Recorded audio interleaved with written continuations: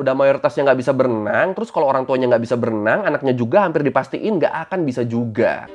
All our life, most of us, honestly, we was told to stay from the water. Nah, jadi alasan orang kulit hitam di Amerika pada nggak bisa berenang tuh ya awalnya karena ini. Karena dulunya kita bahas Amerika lagi. Kali ini gue mau bahas salah satu fenomena unik dan ya miris juga sih yang dialamin sama orang-orang kulit hitam di Amerika Serikat. Fenomena kalau ternyata mayoritas orang kulit hitam di Amerika tuh pada nggak bisa berenang. Bahkan fenomena ini sampai ngebikin banyak banget kasus kematian akibat tenggelam di sana loh. Dan korbannya ya siapa lagi kalau bukan orang-orang kulit hitam. Tapi kenapa ya orang-orang yang nggak bisa berenang ini tuh kebanyakan orang-orang kulit hitamnya? Apa ini ada hubungannya sama isu ras di Amerika? Yaudah kalau gitu ayo langsung aja kita bahas kenapa mayoritas orang kulit hitam di Amerika pada nggak bisa berenang di Learning by Googling. Ini gue yakin kita semua setuju ya kalau berenang tuh salah satu life skill yang penting banget. Bukan cuma sebagai olahraga atau hobi doang, tapi juga berguna buat nyelamatin diri dari kematian. Kayak di Amerika aja, kalau menurut Center for Disease Control and Prevention atau CDC disebut, setiap harinya ada 10 orang yang meninggal karena tenggelam di sana. Atau ini kalau dihitung per tahun berarti ada lebih dari 3.500 orang di Amerika yang tenggelam sampai tewas. Dan kebanyakan dari korban-korban tenggelam ini ya orang-orang kulit hitamnya. Nah tapi yang menarik nih kalau menurut Pew Research Center disebut di tahun 2022 Populasi orang kulit hitam di Amerika tuh kurang dari 15% total populasi di sana. Tapi dengan populasi sekecil itu, angka kematian karena tenggelam di orang-orang kulit hitam di sana tuh malah hampir 6 kali lebih banyak daripada kulit putihnya. Bahkan masih menurut CDC disebut di antara tahun 1999 sampai 2010, angka kematian karena tenggelam di orang-orang kulit hitam tuh nyampe 10 kali lipat lebih banyak daripada kulit putihnya. Ini kan gila ya, padahal kulit hitam tuh minoritas loh. Populasi mereka nggak nyampe 15% dari total populasi di sana tadi kan. Tapi angka tenggelamnya malah lebih tinggi dari mayoritasnya. Bisa gitu, Jir. Terus alasan bisa banyak yang tenggelam gitu tuh kenapa? Nah ini berhubungan nih sama stereotip yang bilang kalau orang kulit hitam tuh nggak bisa berenang. Jadi kalau menurut The Guardian, stereotip orang kulit hitam nggak bisa berenang tuh emang udah ada dari lama di Amerika Serikat. Dan alasannya nih macem-macem. Ada yang bilang karena secara fisik orang kulit hitam tuh punya tulang yang lebih besar dan lebih padat, yang bikin mereka susah buat ngapung di air. Terus ada yang bilang soalnya tubuh orang kulit hitam tuh emang gak diciptakan buat berenang. Ya pokoknya macem-macem lah alasan-alasan yang terkait sama visi. Terus stereotip-stereotip ini juga didukung sama data-data yang ada. Data-data yang nunjukin tingginya angka tenggelam di orang-orang kulit hitam. Ya, contoh datanya yang CDC tadi tuh. Terus selain itu, kalau menurut penelitian yang dilakuin sama USA Swimming Foundation sama University of Memphis di tahun 2017 disebut sebanyak 64% anak-anak kulit hitam ternyata emang nggak bisa berenang. Sedangkan orang kulit putih yang nggak bisa berenang tuh cuma di angka 40%. Terus masih menurut penelitian ini juga disebut di kalangan orang-orang kulit hitam tuh, kalau orang tuanya nggak bisa berenang, kemungkinan besar juga anak-anak mereka tuh nggak bakal belajar berenang. Jadi ya kebayang kan, udah mayoritasnya nggak bisa berenang, terus kalau orang tuanya nggak bisa berenang, anaknya juga hampir dipastiin nggak akan bisa juga. Jadi ya muter terus di situ tuh siklusnya tuh nggak akan improve mereka. Padahal di sisi lain belajar berenang tuh udah terbukti ngurangin resiko tenggelam nyampe 88% loh di anak-anak usia 1 sampai 4 tahun. Apalagi ternyata di rentang umur segitu tenggelam tuh jadi faktor utama penyebab kematian tidak disengaja. Dan nggak cuma di kelompok umur segitu, di rentang usia 5 sampai 14 tahun juga tenggelam tuh jadi penyebab utama kedua dalam kematian tidak disengaja. Jadi ya emang sekrusial itu ya skill berenang ya. Mana gue nggak bisa berenang lagi. Ngambang doang gue bisanya. Kalau ngambang jago gue. Kalau berenang, waduh. In the United States, 64% of black children can't swim. My son, Genesis Holmes, was only 13 years old. He wanted to swim with his friends. Genesis then made it back out because Genesis didn't know how to swim. All our life, most of us, honestly, we was told to stay from the water. Nah tapi remaja-remaja yang nggak bisa berenang ini, sebanyak 87%-nya tuh justru ngunjungin pantai atau kolam renang minimal sekali selama musim panas. Ini kan agak-agak cari mati ya. Tapi ya tujuan utama mereka emang bukan buat berenang sih. Mereka tuh lebih ke biar bisa pakai baju-baju renang yang menarik, makan-makan, pesta party bareng teman-teman friends. Ya intinya tujuan utamanya tuh bersosialisasi lah. Jadi ya tujuan mereka ke pantai, ke kolam renang segala macam tuh ya emang bukan buat berenang, lebih ke kepentingan sosial aja udah. Dan yang nggak bisa berenang ini pada sadar diri kok mereka kok. Tapi ya sayangnya kadang ada-ada aja kan kejadian-kejadian yang nggak diinginkan selama mereka di pantai atau di kolam renang yang akhirnya bikin mereka tenggelam terus meninggal. Malah kalau menurut VOA di tahun 2010 tuh pernah ada kejadian loh. Kejadian yang menimpa satu keluarga besar kulit hitam yang lagi piknik di pinggir sungai. Pokoknya piknik ini bener-bener keluarga besar lah, rame banget lah. Ada anak cucu, ponakan, sepupu, segala macam tuh semuanya ngumpul di situ. Nah waktu lagi kumpul-kumpul itu ada satu remaja yang ngide, dia pengen berenang di sungai. Dia mikirnya sungainya dangkal nih kayaknya nih. Dan ya emang nggak terlalu dalam sih sungainya, tapi entah gimana abis dia nyebur ke situ, dia langsung tenggelam tuh. Nah di saat si remaja ini proses tenggelam, keluarga dia yang lain, orang-orang dewasanya, itu nggak ada yang berani nolongin sama sekali. Soalnya semuanya kan pada nggak bisa berenang.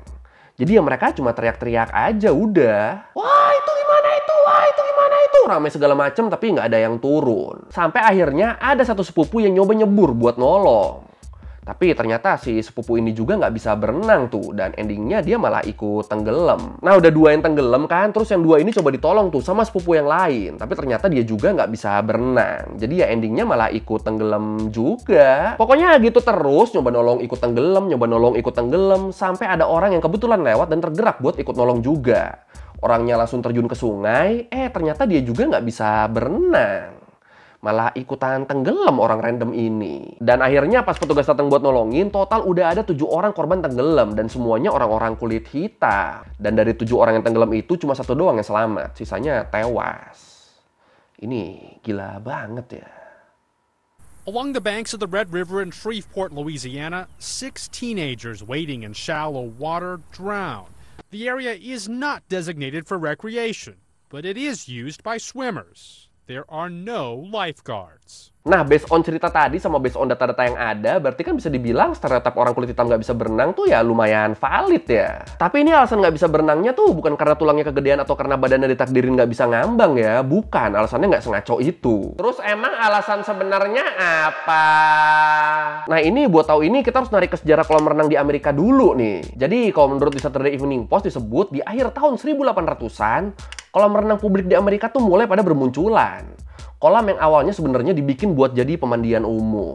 Iya, jadi ternyata awalnya kolam renang tuh dianggapnya tuh kayak beta raksasa gitu, yang bisa nampung banyak orang yang pengen mandi, yang pengen bersih-bersih terutama di sini nampung para pekerjanya. Jadi mereka ini abis harian capek kerja, nah mereka sebelum pulang tuh mampirnya tuh ke kolam renang dulu tuh buat mandi. Jadi zaman dulu nggak ada tuh orang ke kolam renang bawa anak, naik prosotan, senang-senang segala macam, itu nggak ada. Pokoknya zaman dulu orang ke kolam renang ya pengen mandi, pengen bersih-bersih. Dan karena tujuan awalnya sebagai pemandian kan, jadi ya orang-orang di dalamnya juga pasti telanjang mania dong. Makanya dipisah tuh kolam cewek sama cowoknya. Sampai akhirnya kalau menurut Jeff Wills, sejarawan dari University of Montana, di bukunya yang berjudul Contested Water, A Social History of Swimming Pools in America, di situ disebut kalangan elit kulit putih waktu itu lama-lama nganggep kalau kelas pekerja ini, mau dia kulit hitam, mau dia kulit putih, selama mereka kelas pekerja, itu mereka semuanya tuh kotor, sama-sama jadi sarang penyakit menular. Makanya lama-lama kolam renang publik tuh jadi bener-bener cuma dipakai sama kelas-kelas pekerja yang lebih rendah doang. Sementara kulit putih yang banyak uangnya, mereka ya pada bikin kolam renang sendiri aja udah di rumah. Iya, segitu nggak maunya mereka nyampur sama kelas pekerja sampai rela keluar duit lebih buat bikin kolam renang di rumah aja. Dirty working class boys and young men would plunge into the pool and then clean themselves in the water of the pool. It was essentially served as a large bathtub. That's right. The first public pools were not only racially inclusive, but they served as bathhouses for the poor, who often swam. Terus kalau menurut National Geographic, pas masuk abad ke-20 di tahun 1920-an setelah Perang Dunia I, aktivitas renang tuh waktu itu jadi ngetren. Orang-orang datang ke kolam tuh udah bukan buat mandi lagi, tapi lebih ke buat sarana rekreasi, buat ngelepas stres, sama buat bersosialisasi juga lah pastinya. Jadi ya di tahun-tahun segitu, kolam cowok sama cewek tuh udah digabung tuh. Soalnya ya udah pada pakai baju renang kan, udah nggak telanjang mania lagi di kolamnya. Pokoknya waktu itu hampir semua kota di sana tuh minimal punya satu kolam renang besar. Dan ya sebenarnya ini kan tren yang cukup oke okay ya. Tapi ternyata di momen-momen inilah segregasi rasial tuh malah mulai terjadi. Nah, iki, iki. Jadi masih menurut Nat Geo, diskriminasi dan rasisme terhadap orang-orang kulit hitam kan waktu itu emang lagi panas-panasnya ya. Terutama di negara-negara bagian selatan yang emang kebanyakan megang ideologi supremasi kulit putih. Dan dengan situasi begini jadinya udah jelas dong, kolam-kolam renang di selatan tuh jadi terlarang buat orang-orang kulit hitam terutama sejak diberlakukannya Jim Crow Laws di tahun 1877. Apaan tuh Jim Crow Laws? Ya intinya Jim Crow Laws ini tuh undang-undang yang dibikin buat misahin kulit hitam sama kulit putih. Jadi ya undang-undang yang diskriminatif banget lah. Nah karena akses dan hak-hak kulit hitam di negara-negara bagian selatan dibatasin banget, akhirnya banyak banget nih orang-orang Afro-Amerika yang migrasi ke utara. Dan peristiwa ini dikenal dengan nama Great Migration. Kalau menurut Britannica, waktu itu ada sekitar 6 juta Afro-Amerika yang migrasi dari selatan ke utara buat menghindari segregasi rasial ini. Harapan mereka di utara nasib mereka bakal lebih baik nih, karena kalau di utara kan nggak ada undang-undang Jim Crow tadi kan. Jadi dianggapnya negara-negara bagian utara tuh lebih netral, lebih nggak diskriminatif. Tapi sayangnya kalau menurut Wilkes, walaupun di utara tuh nggak ada hukum resmi yang misahin kulit hitam dari kulit putih, tapi segregasi rasial tuh masih tetap terjadi di sana. Bahkan yang di utara malah lebih parah nih, karena di sana nggak ada undang-undangnya kan. Jadinya segregasi rasialnya tuh pakai cara kekerasan, pakai intimidasi. Jadi kalau di selatan orang-orang kulit hitam ini dilarang sama hukum, kalau di utara mereka dilarang sama aksi dari orang-orangnya. Gimana nggak serba salah coba ini? Mau tinggal di mana coba mereka? Di selatan dihantam, di utara dihantam kan? Dan di utara bisa jadi ikutan kayak gini soalnya orang-orang kulit putih di utara mereka tuh makin lama makin was-was sama orang-orang kulit hitam yang datang secara masif ke sana. Mungkin awalnya mereka masih oke-oke aja kan? Oke datang satu, oke datang dua, oke datang tiga. Tapi kok lama-lama datangnya sampai 6 juta orang nih. Jadinya ya mereka ngerasa terancam kan? Apalagi terus basicnya menurut mereka orang-orang kulit hitam tuh kotor, sarang penyakit, jahat, mesum, nggak beradab ya segala macam yang jelek lah. Jadi ya bener-bener anti mereka sama orang-orang kulit hitam. Makanya akhirnya di konteks kolam renang banyak banget tuh kasus kulit hitam dipukulin pas main ke kolam renang atau ya minimal diusir lah, bisa sama pengunjung maupun sama petugas kolamnya. Nah jadi alasan orang kulit hitam di Amerika pada nggak bisa berenang tuh ya awalnya karena ini, karena dulunya mereka tuh nggak dibolehin masuk ke kolam renang. Gara-gara ini mereka jadi nggak belajar renang sama sekali dan masalah ini nurun terus ke anak cucu mereka sampai sekarang. From the north to the south, white-only pools became hallmarks for racial exclusion, and they would stay that way until the 60s. Southern cities use Jim Crow laws to enforce segregation in pools and other public spaces. Dan kalau menurut artikel di University of Toronto disebut, waktu itu, kalaupun ada kolam renang yang ngebolehin orang-orang kulit hitam masuk, itu mereka tuh baru boleh masuknya tuh waktu kolamnya mau dibersihin. Jadi misalnya hari Rabu sore kolam renang A tuh bakal dikuras, bakal dibersihin. Nah, orang-orang kulit hitam baru boleh berenang di situ di hari Rabu paginya. Biar air bekas mereka berenang tuh bisa langsung dibuang biar kolamnya bisa langsung disucikan lagi buat dipakai sama orang-orang kulit putihnya. Dan hal kayak gini tuh nggak cuma dilakuin ke orang-orang kulit hitamnya ya, ke semua kulit berwarna juga begitu, termasuk ke orang-orang Hispanik sama orang-orang Asia. Jadi ya selama puluhan tahun di Amerika, kolam renang tuh bener-bener jadi fasilitas yang cuma bisa diakses eksklusif sama orang-orang kulit putih doang. Sampai akhirnya banyak pergerakan dari para aktivis buat menghapus segregasi rasial di Amerika. Emang pergerakannya gimana? Kalau menurut Black Information Networks di konteks kolam renang, para aktivis ini tuh sering banget secara sengaja masuk ke kolam-kolam publik sebagai bentuk protes mereka. Sengaja mereka berenang di kolam renang khusus kulit putih sebagai aksi penghapusan segregasi rasial. Nah jahatnya nih kalau ada aktivis kulit hitam yang lagi melakukan protes kayak gini, itu sama orang-orang kulit putih yang nggak suka sama mereka, di kolamnya tuh biasanya tuh disebar paku atau dituangin cairan kimia asam gitu buat nyakitin orang-orang kulit hitamnya. Ini tega banget, Jir. Ini sebenarnya buat kejadian disiram cairan berbahaya gini, gue ada satu foto paling terkenalnya nih. Cuma karena kalau gue taruh sini kayaknya nggak aman kan, jadi versi fullnya gue taruh di tempat biasa ya. Foto ini sebenarnya udah sering seliweran di sosmed juga dari dulu, tapi biasanya nggak pakai keterangan tentang apa yang sebenarnya terjadi. Makanya sekarang gue mau bahas dulu nih dikit nih tentang kejadian ini nih. Jadi foto ini ada videonya juga sebenarnya itu tuh diambil di tahun 1964 di Monson Motor Lodge, bekas hotel khusus kulit putih di kota Saint Augustine, Florida. Kalau menurut Vice, orang yang kelihatan lagi nuangin cairan ini dia tuh namanya James Brock, pemilik Manson Motor Lodge. Nah, orang-orang kulit hitam yang lagi berenangnya ya itu para protestor, para pemprotes, para pendemo. Jadi situasinya di sini James Brock ini dia tuh marah, dia tuh nggak sudi kolamnya dikotorin sama orang-orang kulit hitam. Makanya dia mutusin buat nuangin acid ke kolam renangnya. Padahal ya di kolam itu lagi ada orang anjir. Kebayang dong lu orang-orang lagi pada protes kan di dalam kolam kan tahu-tahu yang punya kolamnya datang sambil nuangin larutan asam. Ya gimana nggak sakit itu. Dan ya udah, abis itu foto ini langsung rame tuh dimuat di koran dan media-media masa lainnya. Bareng sama pengumuman kalau Civil Rights Act, undang-undang buat menghapus segregasi rasial tuh bakal disahin dalam waktu dekat. Jadi foto ini kayak semacam penguat kenapa Civil Rights Act tuh harus buru-buru disahin ya. Dan bener aja, nggak lama kemudian Civil Rights Act disahin. Segregasi rasial tuh bener-bener dihapus.